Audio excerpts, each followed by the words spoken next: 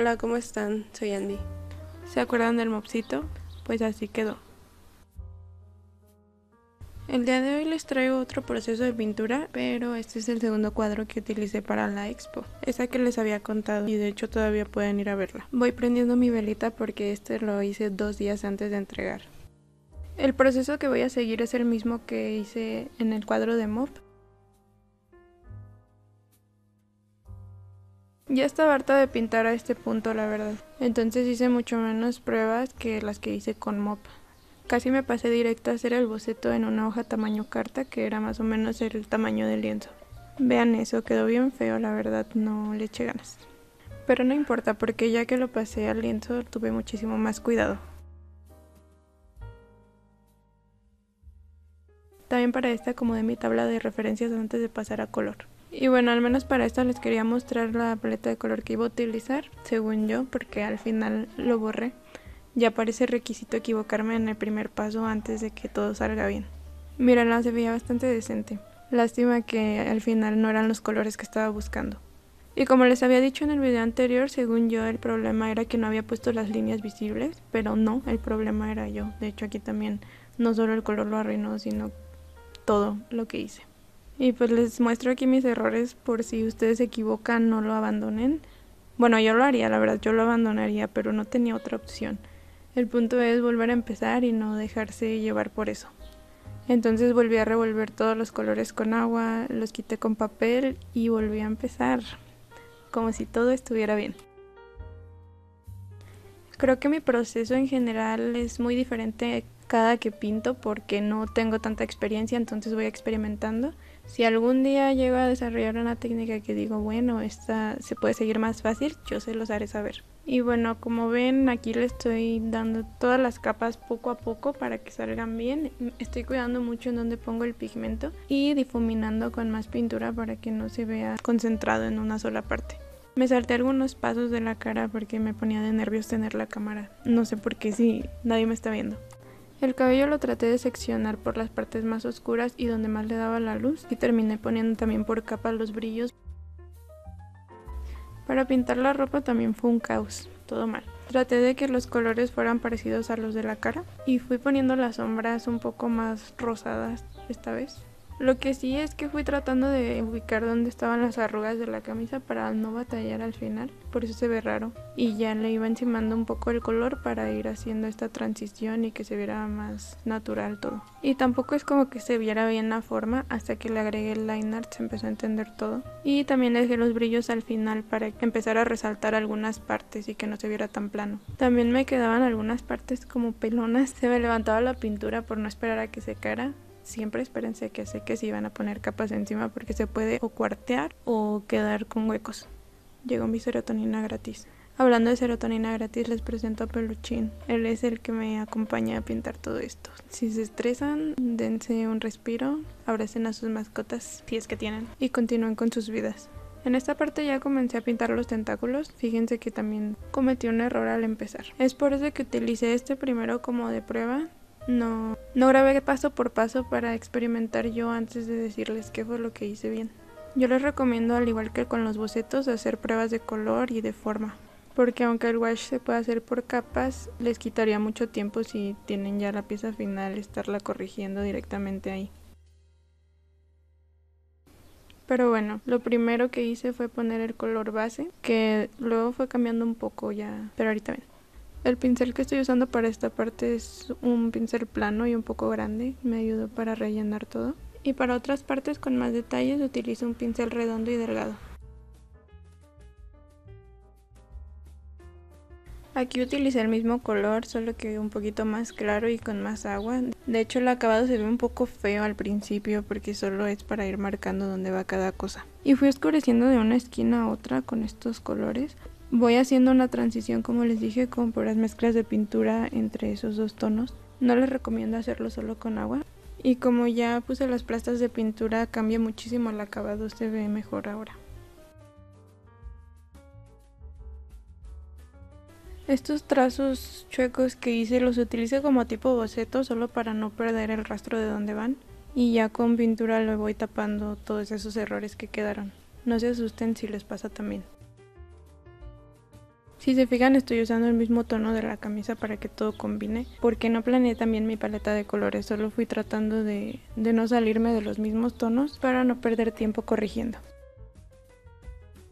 Adoro que en el wash puedas utilizar el color como tú quieras. Vean cómo yo estoy poniendo los brillos ya encima de todo lo que hice. Que de hecho fue muy fácil, simplemente hay que tomar más mezcla de pintura que agua para que no afecte a la capa que está abajo y que pigmente bien. Sepan que el color del wash no queda igual cuando está seco que cuando estaba húmedo. Por eso chequen bien sus colores cuando haya secado y vean que tienen que corregir. En este caso yo simplemente hice los colores más claros para ir resaltando algunas partes. Hasta aquí parece que esos dos tentáculos ya están terminados, pero realmente me falta arreglarles muchas cosas. Pero preferí pintar todo poco a poco para tener una visión más general de todo el dibujo, ya que no ayuda nada a ir parte por parte. Es mejor dejar los detalles al final, ya que puedes analizar bien qué es lo que quieres resaltar. Porque en algunas ocasiones la gente no va a ver lo que tú quieres que vea. Algo que le pusiste tal vez mucho detalle, nadie lo va a notar más que tú. Mejor déjalo al final ya que tú puedas ver cuál es la mejor decisión para terminar el cuadro.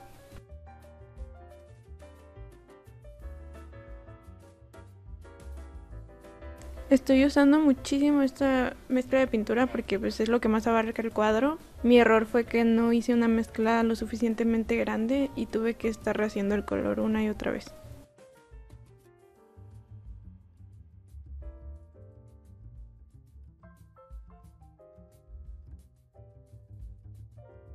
Ya no sé qué decirles.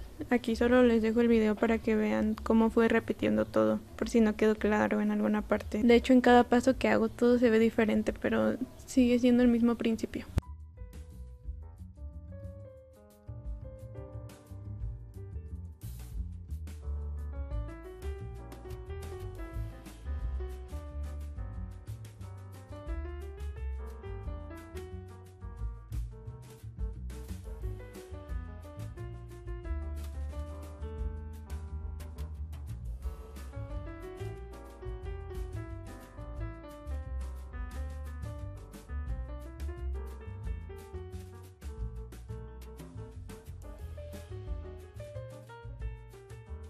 Ok, ya estamos llegando al final del proceso. Este marco ya estaba planeado desde el principio, pero no quería interrumpirme al momento de pintar los tentáculos. Quería que todo fuera más libre para no limitarme al momento de hacer las formas y así lograr un mejor movimiento.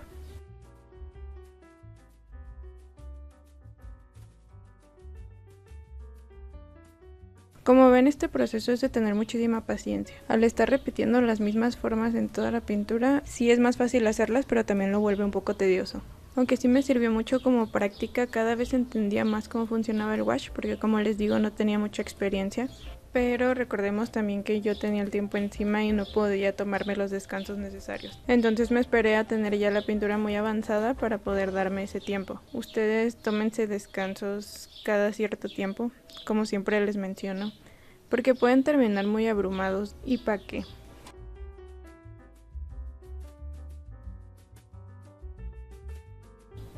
Si les sirve de algo, pueden imaginarse que los brillos van en las mismas partes donde irían en el cabello normalmente, que es en donde se va curvando y es ahí donde rebota la luz. Ya estoy teniendo más cuidado al poner estos detalles porque ya quiero terminar. Le hice un contorno tipo liner a toda la pintura para que resaltaran y que se viera más terminado.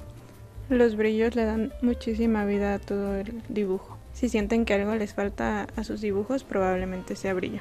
No es cierto, pero sí se ve bonito. Y por fin terminamos los tentáculos. Ahora vamos a pasar a hacer el fondo. La verdad tampoco pensé en el fondo que le iba a poner, solo sé que quería que fuera claro. Utilicé este azulito tratando de seguir los tonos que utilicé en las sombras y aproveché para corregir una parte de un tentáculo. Le tuve que dar varias capas porque no tapaba bien y se movía la pintura, entonces era esperar a que se secara y poner otra capa del mismo color. Y así como 10 veces.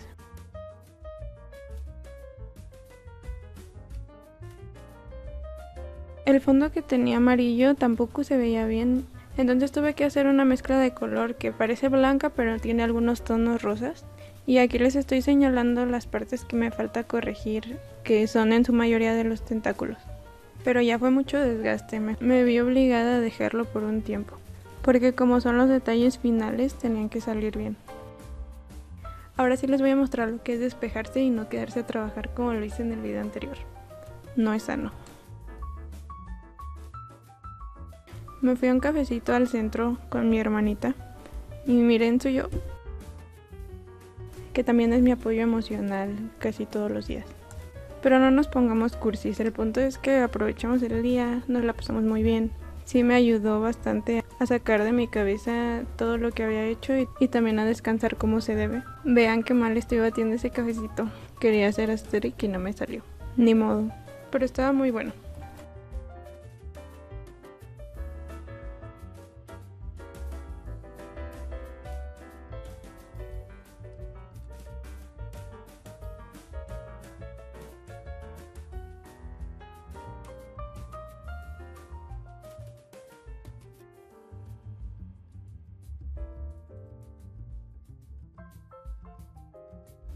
No sé si ya se dieron cuenta, pero tengo un pulso horrible para grabar. Vean eso. Bueno, sí lo notaron cuando batí ese cafecito. Qué vergüenza. Ya mejor terminamos la pintura. Le agregué estas letritas para que se viera más completo. Y también me gusta agregarle detalle a las laterales. Le continué un tentáculo ahí y del otro lado le puse un letrero con el nombre del personaje.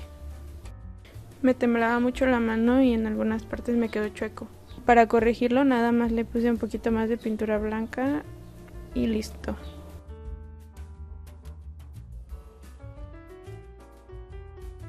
Aquí tienen el resultado final. La verdad me gustó mucho también. Miren, ahí está el lado de Mop. Me gustaron mucho ambos cuadros. Me alegra decirles que ya vendí uno. Mop ya tiene casa. Antes de salir le puse un protector en aerosol transparente. Y en cuanto se secaron me fui porque se me hacía tarde para entregarlos. Ahí llevo a mis niños en el camión. Checo que estén bien, los llevé en bolsita para que no le pasara nada a la pintura. Y fue un día muy pesado, no comí, ahí llevaba mi empanada en el camión.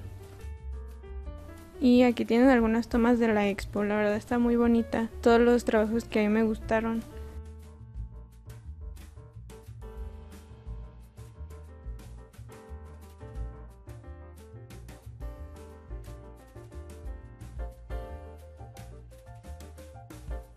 Les voy a dejar aquí algunas tomas de mis cuadros favoritos.